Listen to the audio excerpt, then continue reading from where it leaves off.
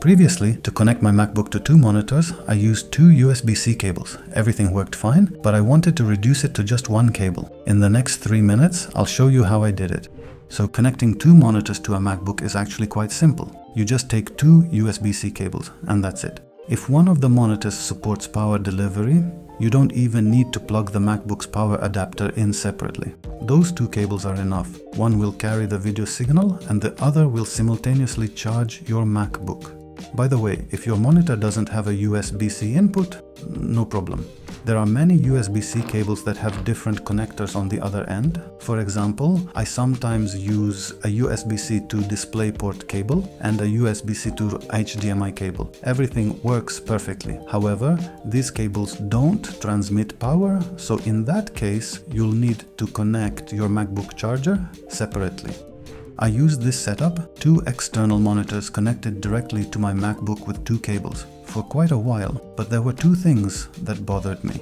First, every time I needed to take the laptop with me, I had to plug and unplug both cables. Second, if I wanted to connect anything else to my MacBook while both monitors were already attached, it quickly became inconvenient. And if I needed to connect several devices, I could easily run out of free ports. The solution to both problems is pretty simple, and you probably already know it, a docking station. In that case, both monitors and all your peripherals connect to the dock and the MacBook connects to the dock itself. And if the docking station supports power delivery, you can have just one single cable going from the dock to your MacBook. This is exactly the setup I decided to go with. Since I didn't have any particular preference for a docking station brand, I just ordered the first one I found that supported multiple monitors and power delivery. Let's quickly unbox it.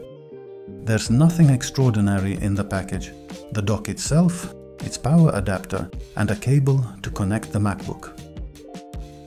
Now let's take a look at the ports on this docking station. Starting with the back panel, there's the power input for the dock, a USB-C port to connect the laptop, and two USB-A ports, which I'll use for external drives.